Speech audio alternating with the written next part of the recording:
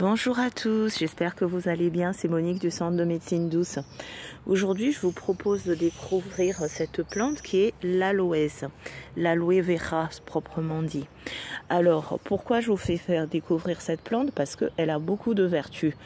Vous pouvez donc l'utiliser au quotidien pour des problèmes de peau. On s'en sert. On peut donc on prend une feuille comme ceci, on le coupe et on prend le gel qui est à l'intérieur. Et si on s'est brûlé ou si on a des taches sur la peau, eh ben on l'applique dessus. On l'applique aussi dans le cas pour les cheveux, hein, pour euh, hydrater les cheveux.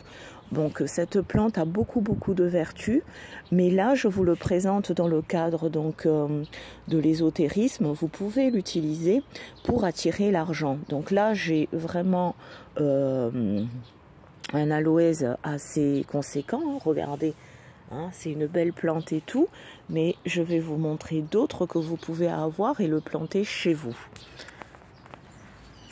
Là, vous avez une autre variété d'aloès que, que j'ai mis en pot. Donc, euh, ça fonctionne toujours pareil, ça a les mêmes vertus. Mais euh, là, par exemple, celui-là qui est dans le pot, vous pouvez euh, prendre cette plante et en dessous, dans la terre, vous mettez 21 pièces jaunes de 5 centimes ou de 50 centimes selon l'endroit où vous êtes. Vous le mettez à l'intérieur, vous mettez de la terre et vous plantez l'aloès. Une fois que vous l'avez planté, vous l'arrosez bien et en l'arrosant, vous dites je plante ma richesse. Vous mettez ça devant chez vous et vous allez voir que vous allez toujours avoir un peu d'argent dans la maison.